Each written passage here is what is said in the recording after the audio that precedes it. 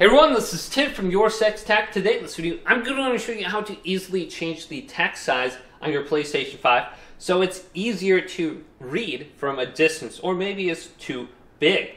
So on the home screen here, let's go to settings, then go to accessibilities on the top.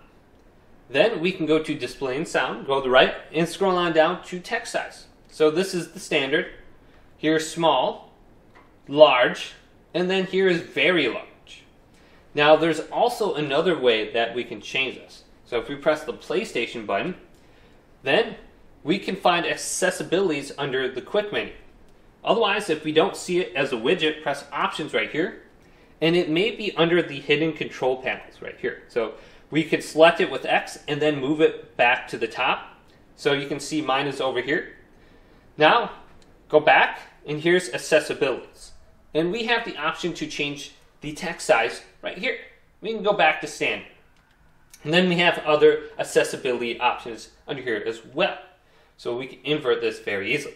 But hopefully this video did indeed help you out. If did, leave it a big thumbs up and subscribe to my channel down below for more tech videos. Coming up next on YourSixTech.